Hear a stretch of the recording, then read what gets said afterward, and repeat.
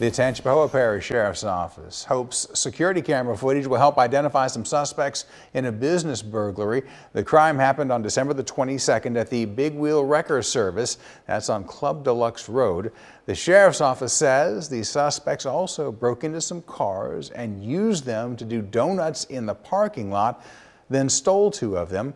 The cars were recovered. Deputies say the thieves also used a white Bronco to help make their getaway.